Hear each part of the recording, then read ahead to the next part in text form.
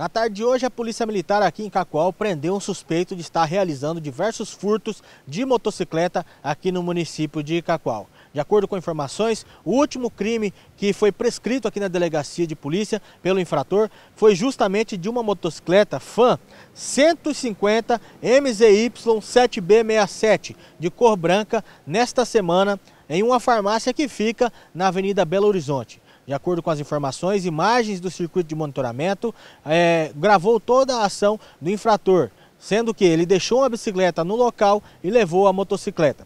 Ainda durante a semana, ou seja, no final da tarde de hoje, uma pessoa viu esse suspeito com a motocicleta na Avenida Malaquita, em um bar. Em posse das informações, os policiais se dirigiram até o local, porém a motocicleta não foi localizada. Mas o suspeito, com as mesmas características, foi localizado e durante a abordagem, o suspeito foi identificado como Emerson Feitosa, ele que é oriundo da cidade de Pimenta Bueno.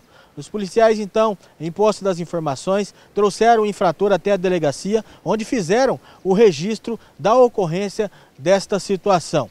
É importante ressaltar ainda que a motocicleta não foi localizada e os policiais trabalham na hipótese de tentar localizar este veículo e uma outra motocicleta também que foi furtada pelo mesmo infrator. Ele ainda chegou a tirar ondas ainda com os policiais aqui dentro da salinha da PM e tudo isso foi relatado no boletim de ocorrência. Ele relatou que a justiça ia soltar ele no próximo dia. Então tudo isso foi relatado no boletim de ocorrência e ainda foi levantado que ele tem diversas ocorrências de furto no município de Pimenta Bueno, roubo. Então é um infrator que realmente é, comete esse tipo de crime, mas ele acredita que sempre vai ficar impune dessas situações.